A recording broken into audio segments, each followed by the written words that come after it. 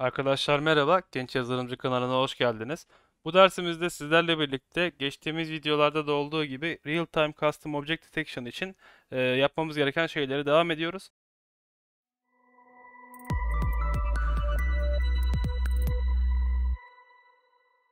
Hatırlarsanız ilk videolarımızda e, önce veri setimizi hazırlamıştık. Yapay zeka modelimizi eğiteceğimiz veri setimiz elimizde var şu anda. Daha sonra sistemimize OpenCV kurmuştuk GPU desteği aktif haldeyken. E, şu anda ise artık yavaş yavaş eğitim kısmına geçeceğiz. Şu anda sistemimize Darknet'i kuracağız. Darknet bir framework'tür. Biz Yola V4 modelimizi Darknet üzerinde eğiteceğiz.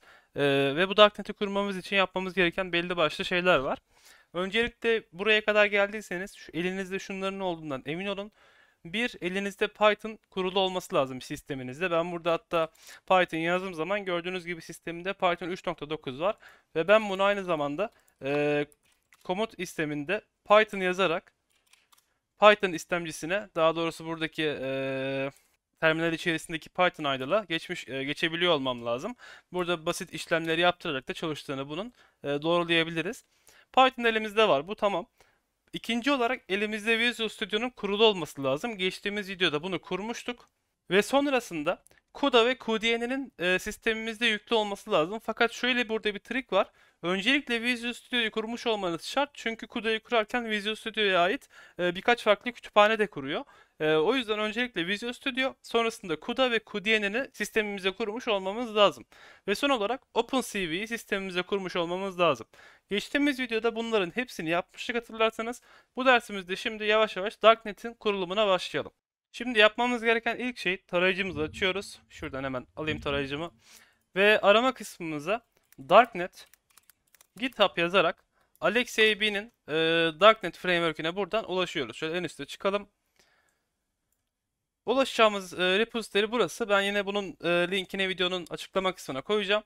Bu kısma geldikten sonra burada kod kısmına tıklıyoruz ve download zip diyerek e, indirme işlemimizi başlatıyoruz. Ben bunu şimdilik masaüstüne indireceğim. İndirme işlemi tamamlandıktan sonra masaüstüme geliyorum. Burada yeni bir klasör açacağım artık. İsmi de Darknet olacak bu klasörün. Darknet olarak klasörümü açtım. Ve e, indirdiğim zip dosyasını bunun içerisine atıyorum. Daha sonra bu zip dosyasını ben burada e, ayıklıyorum. Klasörden çıkarıyorum. Zip'ten çıkarıyorum. Ve artık bu dosyayla bir işim kalmadı. Ben Darknet Master'ın içerisine girdiğim zaman burada Build isminde bir klasör var. Darknet x64. Bu dizine ulaşmamız lazım. Bu dizine ulaştıktan sonra yeni bir pencerede hatırlarsanız geçtiğimiz videoda e, CUDA'yı kurmuştuk. Program Files'a geçiş yapıyorum. Burada Nvidia GPU Computing Toolkit var gördüğünüz gibi. Açıyoruz. Ve içerisinde CUDA'ya giriyorum. Versiyon 11.0. 1000. Burada kopyalamamız gereken bir dinamik bağlantı kitaplığı var. Bunun e, ismi QDNN 64 bir şey olması lazım. Tam şu an yanındaki sayıyı hatırlamıyorum ama QDNN yazıyorum. Enter'lıyorum. Bakalım elimizde neler var. QDNN 64 alt 8.dll diye bir dosya var gördüğünüz gibi burada. Ben bu dosyayı kopyalıyorum. Ve sonrasında Darknet'in içerisindeki x64 dizinine ben bu dosyayı yapıştırıyorum. Sonrasında hatırlarsanız geçtiğimiz videomuzda OpenCV'yi compile etmiştik, bootlemiştik. Ee, burada ben onu indirilenler klasöründe bıraktığımı hatırlıyorum. Evet. OpenCV build ettiğimiz klasöre gidiyoruz. Burada install klasörüne gidiyorum. x64 klasörüne gidiyorum. VC16 1000 OpenCV alt World 451 ismindeki DLL dosyasını kopyalayıp e, biraz önceki hemen şuradan oraya dönüş yapacağım. Darknet klasöründe x64 folderında bunu yapıştırıyorum. İki tane dosya kopyalamış olduk bu, e, bu dizine şu anda. Bu dosyaları kopyaladıktan sonra bir üst dizine geçiş yapıyoruz. Darknet dizinindeyim. Ve burada darknet.vcxproc ismindeki dosyayı sağ tıklayıp metin editörüyle açacağım. Ben bunun için Visual Studio Code kullanıyorum. Siz herhangi bir metin editörüyle bunu açabilirsiniz. Burası karşımıza geldikten sonra burada değiştirmemiz gereken iki tane şey var. Birincisi bunların CUDA. E, aslında ikisi de CUDA sürümleri bunların. Arama kısmına büyük harflerle CUDA yazıyorum. Ve gördüğünüz gibi burada CUDA'ya ait sürümler karşıma çıktı. Şu an burada CUDA 11.1 yazıyor fakat biz CUDA 11.0 kullanıyoruz. Sistemimizde 11.0'ı kurmuştuk. Ee, 11.0 update 1'i kurmuş e, olmamız lazım. CUDA onu düzelttik. Şöyle CUDA 11 diyerek diğer şeyi de bulalım.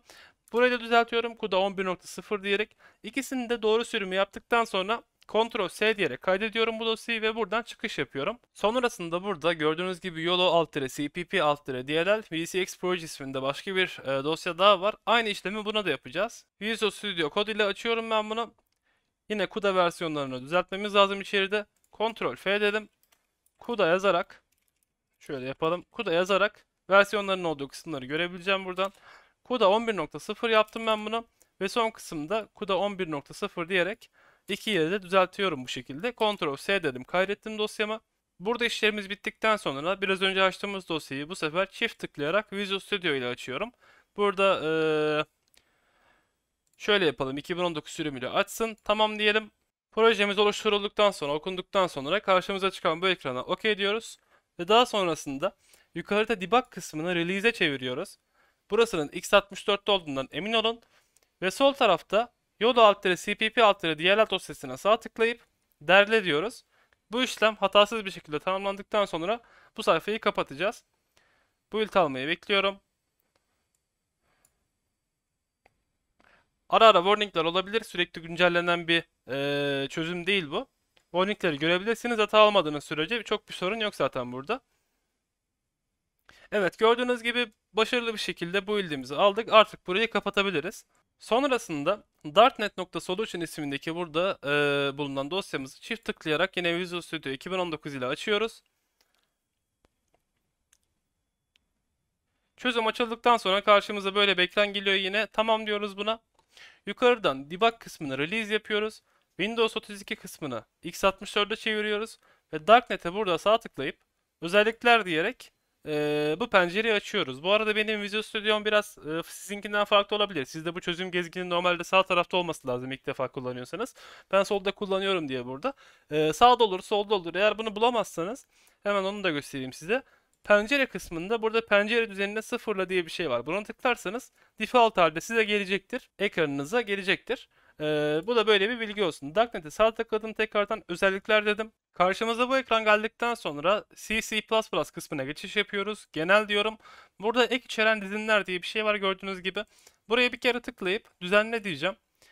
Daha sonrasında şuradaki gördüğünüz yeni satır e, sembolüyle bir kere tıklıyorum. Buraya bir e, dizin koyacağız. Bu dizinimiz ne olacak? Bizim OpenCV'mizin e, library dosyalarının olduğu dizini koyacağız buraya. Bunu nasıl bulacağız? Ben burada klasörüme geliyorum tekrardan. OpenCV'yi kurduğum kısma geçiş yapacağım. Hemen indirilenlere geçtim. OpenCV'm benim burada. OpenCV'nin içerisinde e, install klasörüne geçiş yapıyoruz. Ve sonrasında include klasörüne geçiş yapıyoruz. Gördüğünüz gibi burada OpenCV2 isminde bir klasör var. Ben bu dizini kopyalayacağım ve buraya şu şekilde yapıştırıyorum.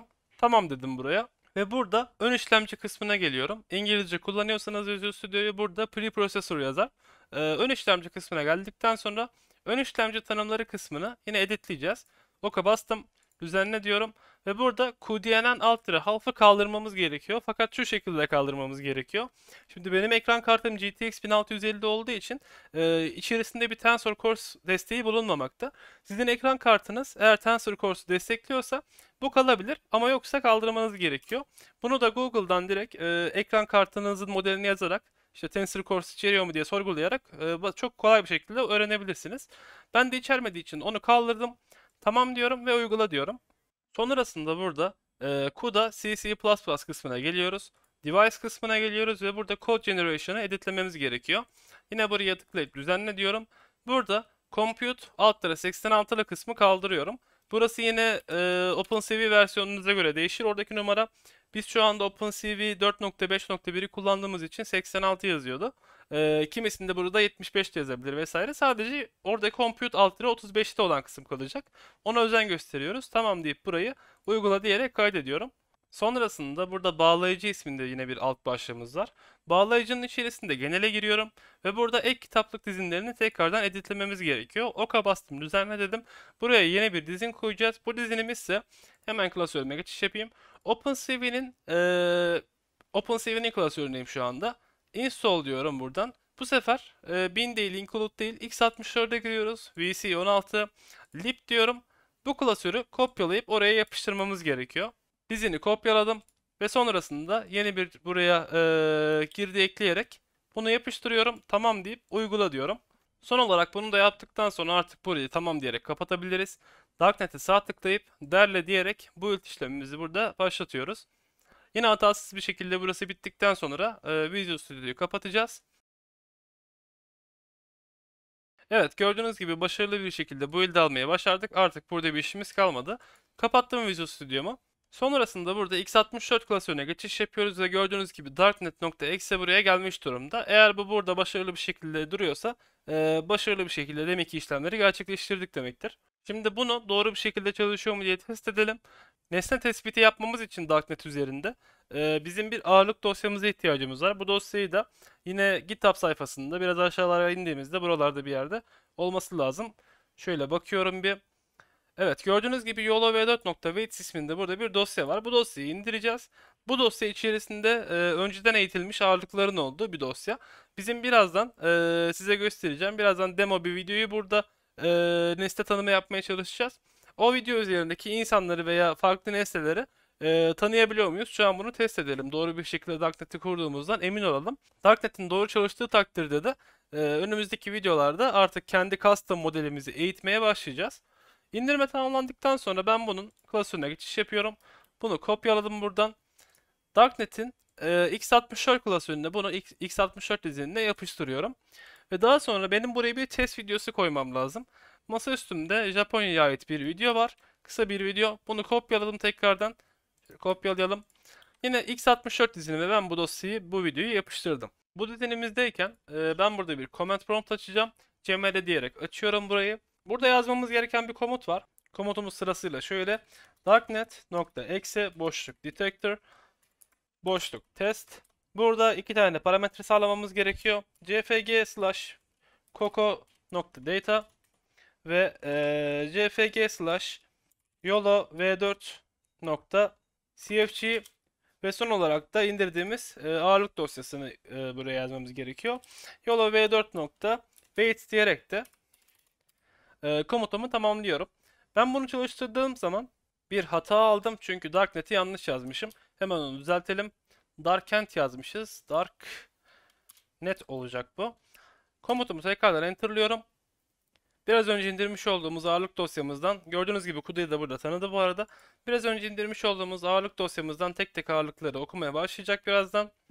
Ekran kartımı gördü çok iyi. İşlemci üzerinde çalışmıyoruz. Ekran kartı desteğimiz mevcut. CUDA sürümümüz, CUDIANEN sürümümüz hepsi burada yer almakta. Gördüğünüz gibi ee, bizim burada layer'larımız yüklemeye başlıyor. Toplamda 162 tane layer'ın yüklendiğini söylüyor. Ağırlıklarımız sisteme yüklenmiş durumda. Ve bana ee, bu test işlemi için bana bir resmi soruyor. Şu an bizim burada doc.jpg isminde bir resmimizin olması lazım. Evet burada yer almakta. Ben direkt doc.jpg diyerek bu resmin test edilmesini istiyorum. Doğru bir şekilde e, tanımayı gerçekleştirebiliyor mu? Şu anda bu çok şey oldu. Ha, şöyle büyütebiliyormuşum. Çok güzel. Gördüğünüz gibi resimde köpeği tespit etmiş. Arkada duran bir bisiklet tespit etmiş. Arkada bir kamyonet tespit etmiş. Ee, gördüğünüz gibi objelerimizi çok güzel şu an tespit edebiliyor. Darknet sistemde düzgün bir şekilde çalışıyor. Yola V4 düzgün bir şekilde çalışıyor. Nesne tespiti için artık hazırız. Ben bunu kapatayım şu şekilde. Şuradan bir çıkış yapalım. Gelin bir de video üzerinde biz bunu deneyelim. Video üzerinde bir test almak için de ne yapıyoruz? Darknet nokta eksi boşluk demo e, pardon detector boşluk demo boşluk burada config dosyamızı yazmamız lazım. Coco nokta e, data öncelikle data dosyamız sonrasında config dosyamız e, cfg slash coco nokta e, özür dilerim yola v4 nokta config olacak bu. Yola v4 nokta dosyası cfg olacak conf'ta değil. Yola v4.cfg sonra weights dosyamızı ağırlık dosyamızı yazıyoruz. Yola v4 nokta weights ve son olarak da videomuzun ismini yazıyoruz. Japan nokta Japan nokta mp4 diyerek video üzerinde testimizi gerçekleştiriyorum. Layer'larımızı tekrardan yüklüyor. Video streamine başladı. Gördüğünüz gibi şu an burada çok yüksek çözünürlüklü bir video alıyoruz aslında. Bu bizim performansımıza da etki edecektir. Şöyle bakalım. Evet gördüğünüz gibi insanları tespit ediyor. Çok fazla nesne var burada. Ee, bu kadar kasması çok normal. Gördüğünüz gibi yaklaşık 100 taneden fazla aynı anda detection işlemi gerçekleşiyor. Traffic light'ı bakın burada tespit etti. İnsanları, headback'leri vesaire tespit ediyor. Burada çok güzel bir şekilde çalıştığını görebiliyoruz. Backpack tespit ediyor şurada ara ara. yine e, kadınların çantalarını, insanları gayet güzel bir şekilde tespit ediyor. Bunu da bu şu anda kapatabiliriz. Bakalım kapatabiliyor muyum bu şekilde? Burada kapatamıyorum. Şöyle yapalım. Buna da izin vermiyor. Şöyle yapsam. Gördüğünüz gibi ortalama 8.4 FPS almışız. Biz bu işlemi e, işlemci üzerinde yapıyor olsaydık, CPU'yu kullanıyor olsaydık bu ortalama 1 ve 2 arasında geziyor olacaktı. Hatta 2'yi görmeyecekti bile. Yaklaşık 4 kat 5 kat daha hızlı çalışıyor ekran kartını kullandığımızda. Ve burada gördüğünüz gibi tespit edilen e, nesnelerin doğruluk oranlarıyla beraber e, bayağı bir yer almakta başlattığımızdan beri videoyu. Sonuç olarak şunu anlayabiliriz. Bugün biz Darknet'i kurduk. Yola V4 modelimizi kurduk. Darknet ve Yola V4 modeli çok düzgün bir şekilde şu anda olması gerektiği gibi çalışıyor. Biz bundan sonraki videomuzda hatırlarsanız az önce yazdığım komutta e, indirdim Waze dosyasını kullanıyorduk. Yine hazır olan config dosyalarını kullanıyorduk. Bundan sonraki videomuzda artık kendi eğiteceğimiz model üzerinden şuradaki Windows'e ait bilgileri kullanarak kendi özgün modelimize eğiteceğimiz bilgileri, config dosyalarını oluşturmaya başlayacağız. Önümüzdeki videoda training işlemini başlatacağız. Şu ana kadar elimizde CUDA var, QDNN var, Visual Studio var, e, ekran kartı destekli OpenCV sistemimizde kurulu. Darknet'i kurduk ve son olarak Yola V4 modelimizi sistemimizi kurduk ve şu anda hepsi çalışır durumda. Artık işlemin son kısmına geçebiliyoruz. Bu ders bu kadar olsun. Bundan sonraki videomuzda görüşmek üzere. Videoyu beğendiyseniz like atmayı ve abone olmayı unutmayın. Kendinize çok iyi bakın. Sonraki bölümlerde görüşürüz. Hoşçakalın.